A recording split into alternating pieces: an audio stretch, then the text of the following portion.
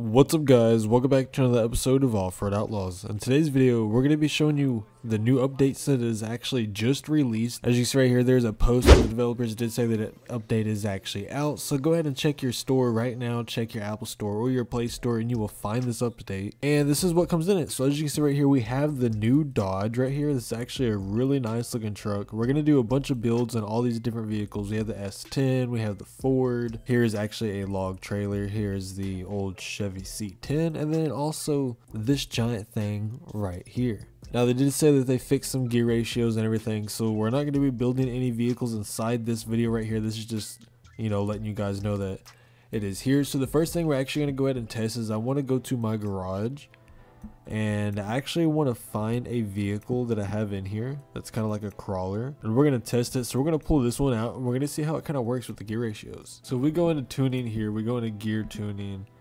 and my first gear is 3.6 my low gear is 2.8 so we're going to go ahead and bump that low gear up just a tad. So low gear is at about 3.4 so we're going to go ahead and go back and we're going to load into a map and we're going to see how the gear ratio kind of differentiates between this update and the old update. Six hours later. alright guys so now that we loaded into a map we're going to go ahead and test this in high gear right here.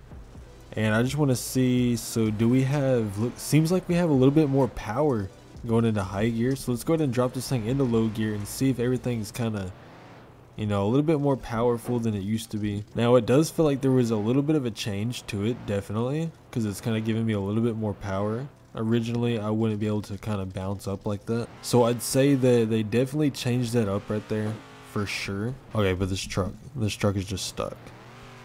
Can I not make it up this? What? Oh, oh, there we go. Come on, come on. So I just needed to bounce my way up just a little bit. See if we can kind of, you know, back ourselves up a little bit right here. Turn to the right, kind of crawl our way up. Come on. I know this truck can make this. This truck should be a really good truck for rock crawling. And I don't know why it kind of struggled there.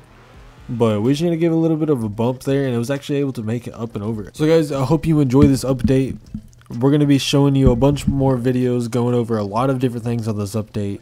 So stay tuned for more videos. Please be sure to like and subscribe and turn on post notifications.